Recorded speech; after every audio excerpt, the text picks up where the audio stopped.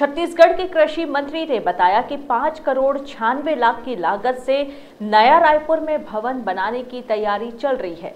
प्रदेश में डेवलपमेंट की जो भी संभावनाएँ हैं, उन सबको मुख्यमंत्री भूपेश बघेल पूरा कर रहे हैं। इतना ही नहीं, सीएम के निर्देशन में प्रदेश भर का विकास कराया गया है। आदरणीय मुख्यमंत्री जी सोचते हैं कि लगभग 8000 करोड़ रुपया खर्च करके नई राजधानी को तत्कालीन सरकार ने लगभग बसाने में कोई रुचि नहीं लिया था। उसके बाद माननीय मुख्यमंत्री जी ने जो लगातार फैसले कर रहे हैं, नई राजधानी में मुख्यमंत्री का बंगला, मंत्रियों का बंगला, अधिकारियों का बंगला, इस तरीके से जितना भी इंफ्रास्ट्रक्चर छत्तीसगढ़ की ज़रूरत है, उस दिशा में ये सरकार आदरणीय मुख्यमंत्री जी के नेतृत्व में काम कर रही है।